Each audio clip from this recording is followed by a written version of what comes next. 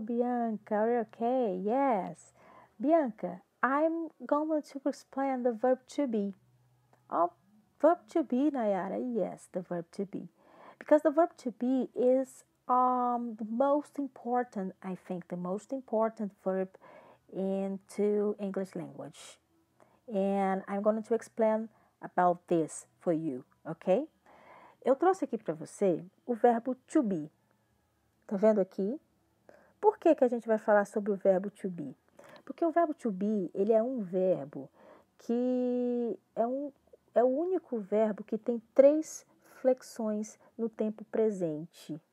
Ele é um verbo que ele vai flexionar três vezes. É por isso que quando a gente vai aprender inglês, a primeira coisa que a gente aprende é o verbo to be, porque ele é considerado um dos verbos mais é, importantes da língua inglesa por essa, esse aspecto gramatical, certo? Ele vai flexionar no plural, eu até coloquei aqui no cantinho, plural, ok? Por quê? O plural de to be, para para você que não sabe, to be significa ser ou estar. Enquanto no português eu tenho dois verbos, o verbo ser e o verbo estar, na língua inglesa eu vou ter um único verbo com esse mesmo sentido, com esse mesmo significado. Por isso que ele é ser ou estar. Quando eu quero dizer que ele está no plural, ele vai para o are, are, que eu vou utilizar ele apenas por you, we e they, certo? Com exceção do you, vou até colocar aqui no meu quadrozinho, porque o you na língua inglesa, ele vai depender muito, deixa eu conseguir, ele vai depender muito do sentido da frase, né? Do contexto da frase, porque ele pode ser tanto singular quanto plural. Depende do sentido da frase que você está falando. Eu posso dizer you are beautiful ou seja, você é bonita, mas eu também posso dizer you are beautiful, vocês são bonitas. Então depende do contexto, a gente tem que ficar ligado no contexto para saber se está no plural ou no singular.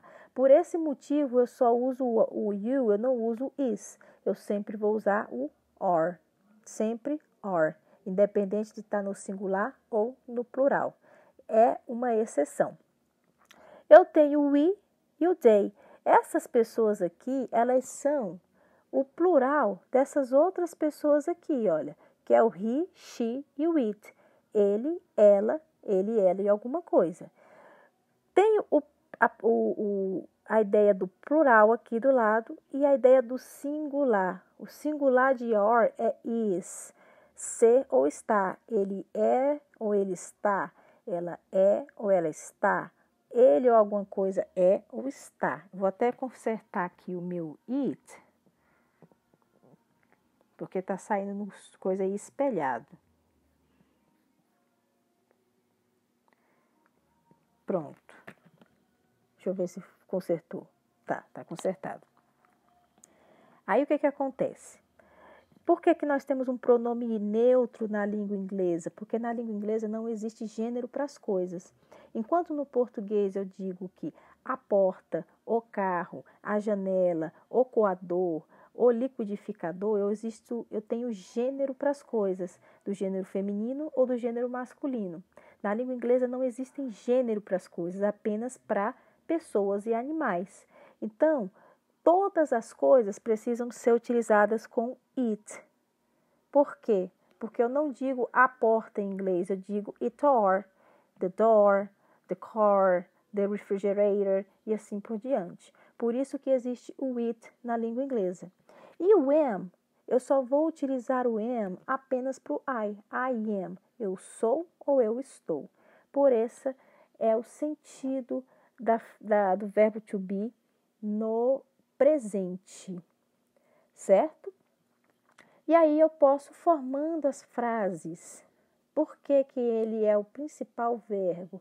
Porque é dele que a gente começa a formar as frases em inglês e ter sentido e dar sentido a elas quando nós somos falantes de uma língua estrangeira.